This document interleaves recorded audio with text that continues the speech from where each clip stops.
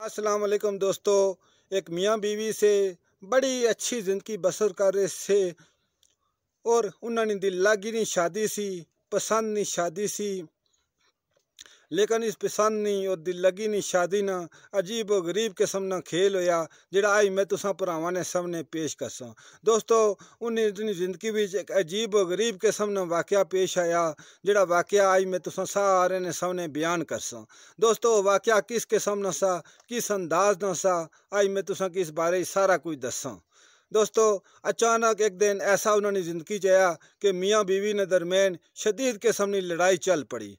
उस लड़ाई ने दौरान बीवी इतनी जज्बाती हो गई कि उस अपनी शोर की लचकारिया, कि हाँ अगर तू मर न पुत्र है तू वाकई गैरत मंद है, तू वाकई लाली है तो आज हर हालत तू मिकी तलाक दे सें लेकिन शोर बड़ा ही अच्छा सी, उस बड़ी कोशिश की थी कि किसी तरीके नाल ही वक्त टली गया लेकिन वक्त टलने का ना नसी की ना। लड़ाई उस तरीके नाल जारी सी शोर नहीं, पूरी कोशिश ऐसी कि यार लड़ाई किसी तरीके ही ख़त्म हुआ लेकिन लड़ाई ख़त्म होने ना ना नसी लेनी अच्छा दूसरी मुरतबा, फिर बीवी ओ लकब जारी किया कि वाकई अगर तू लाली है, वाकई तू गैरतमंद है, वाकई अगर तेरे अंदर मर्दा वाली गल् तो तू हर अज हर हालत मिकी छुट्टी चाहिए ताकि मैं अपने माँ बाप ने घर चली गच्छा। मैं तेरे नाल किसा सिस्टम भी ना रहना पसंद करनी।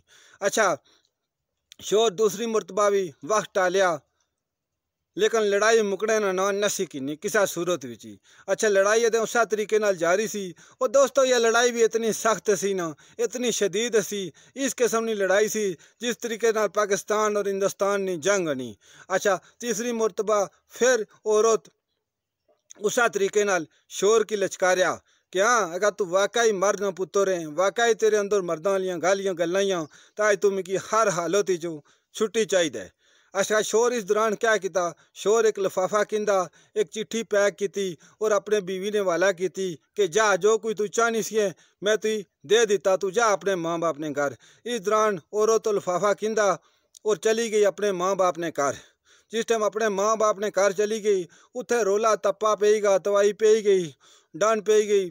माँ बाप रोना शुरू करी किंदा, भैन भरा भी एक अपना दुख आना गम आना कि हाँ साड़ी भैनों की मतलब है, छुट्टी हो गई फारोग हो गई। अच्छा इस दौरान क्या होया कि औरत की काफ़ी दिन हो गए से माँ बाप ने घर गए परजाइयाँ भी उसकी ताने मीने देना शुरू करी किंदे आसा पासा ने जेडे बस्ती ने लोग ऐसे वो भी उसकी बुरी निगाह देखना शुरू हो गए।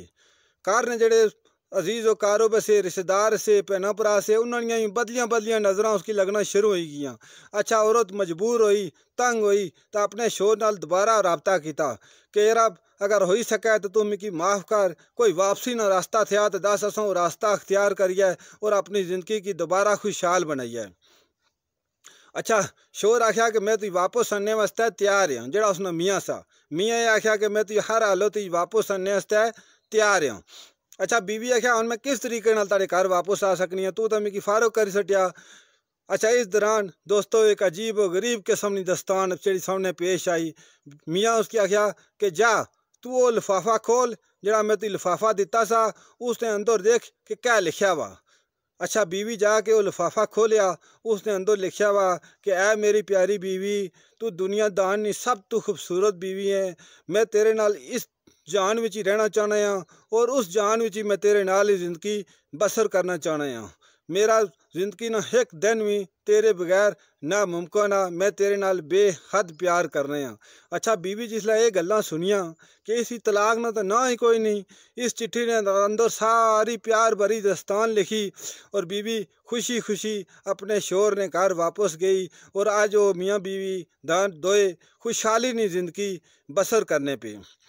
दोस्तों अदे वाक्य जारी ने अदे वाक्य मुक्या ने तुसा वाक्य पूरा सुनना, ता इस फिर तुसा की जाके कोई गल अच्छे तरीके नाल समझ सी। अच्छा इससे अच्छा वाक्य ने पुर में हदीस पढ़ने हमारे प्यारे नबी हज़रत मोहम्मद मुस्तफ़ा सल्लल्लाहु अलैहि वसल्लम ने फरमाया कि तुम में सबसे बेहतर वो लोग हैं जो खुश अखलाक हैं और उन में से बेहतर वो लोग हैं जो अपनी औरतों के मामले में सबसे अच्छे हैं। एक और हदीस नबी है कि सब्र नसफ ईमान है। एक और हदीस नबी है कि अल्लाह ताला सब्र करने वालों को हमेशा अपना दोस्त रखता है। तो दोस्तों, हमारे प्यारे नबी हज़रत मोहम्मद मुस्तफ़ा सल्लल्लाहु अलैहि वसल्लम की चंद हदीस मुबारक भी मैंने आपके सामने पेश की।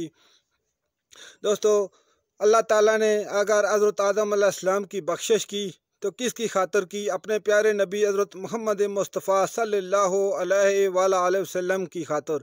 अगर अल्लाह ताला ने ये दुनिया जहान बनाया, ज़मीन आसमान बनाई, कुल कैनात बनाई तो किसकी खातर बनाई? अपने प्यारे नबी हज़रत मोहम्मद मुस्तफ़ा सल्लल्लाहु अलैहि वसल्लम की खातर।